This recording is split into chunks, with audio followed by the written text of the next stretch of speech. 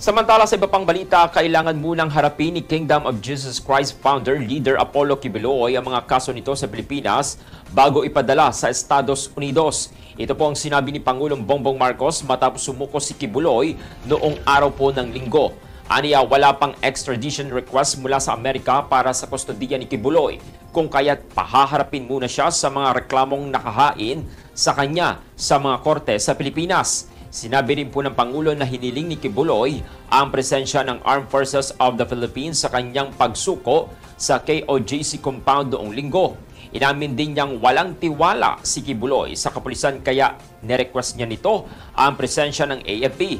Samantala nitong lunes ay iniharap na sa publiko ng DILG si Kibuloy kasama ng kapwa akusado na sina Jacqueline Roy, Ingrid Canada, Crescente Canada at Sylvia Semanes. Naharap po si Kibuloy sa mga kasong sexual abuse of a minor, child abuse at qualified trafficking sa Pilipinas.